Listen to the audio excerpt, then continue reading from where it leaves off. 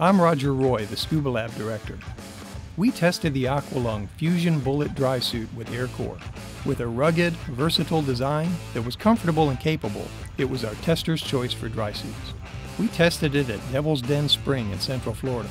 We evaluated its fit, comfort, and range of motion above and below the water, the comfort and effectiveness of neck and wrist seals, and how effectively it let us control trim, buoyancy, and air movement in the suit. We also evaluated the effectiveness of inflation and exhaust valves, how streamlined the suit was in the water, and how easy it was to get on and off. Our first impression was this suit has a lot of zippers. That's because of the dual layer design with zips and Velcro that attach the lining to the high stretch shell. Our second impression, as one test diver noted, was wow, is this comfortable.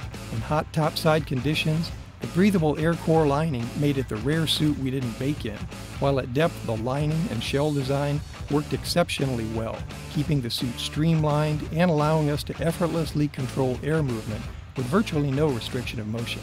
The replaceable seals are simple to swap and comfortable, although the neck ring sometimes got between collarbone and BC straps when topside, and the replaceable outer skin comes off in minutes. The plastic, semicircular entry zipper makes it easy to get in and out, the suspenders, with a mesh back pad, were rated among the best in the test, and the expandable cargo pockets are functional and trim. Versatile, comfortable, and capable, the Fusion Bullet with Air Core was our tester's choice for dry suits.